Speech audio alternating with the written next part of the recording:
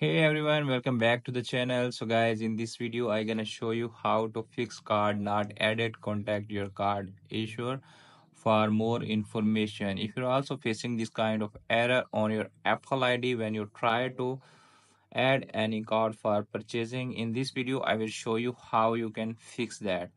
First of all, you need to close that and after that, you need to tap on your iPhone settings. Okay, in settings section, you need to tap on general. After tapping the general you need to tap on software update and make sure your iphone updated to the latest ios update. If you have any pending ios update on your iphone just update your iphone to the latest ios then go to the setting again. In settings section first of all you need to log out your apple id like this and after that you again sign in your apple id and then try to add that code again.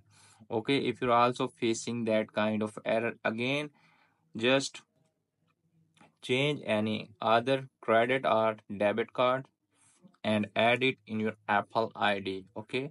If you're also facing still that kind of error in your iphone then go to settings app on your iphone and tap on general scroll down and tap on transfer or reset. Okay after tapping the transfer and reset tap on reset and reset network setting and then done it. Okay make sure you're connected with strong wi-fi or cellular data.